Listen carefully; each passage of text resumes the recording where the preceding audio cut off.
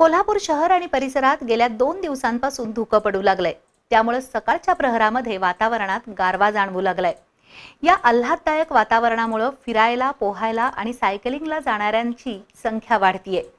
गेल्या दोन दिवसांपासून या नैसर्गिक वातावरणाचा आनंद घेण्यासाठी नागरिक घराबाहेर पडतायत.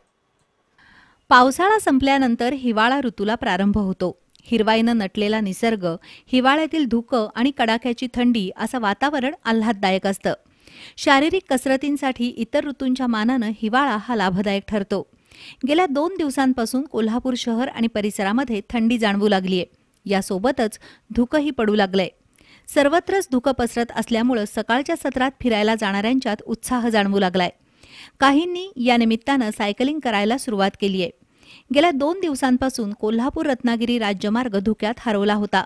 या धुक्यामुळे वाहनांचा वेग मंदावला असून वाहनधारकांना लाईटचा आधार घ्यावा लागतोय.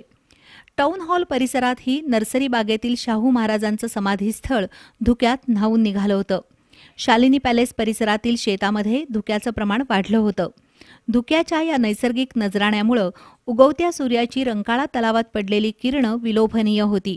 अशा या नैसर्गिक वातावरणात फिरायला आणि पोहायला येणाऱ्यांच्या संख्येमध्ये वाढ होऊ लागली आहे.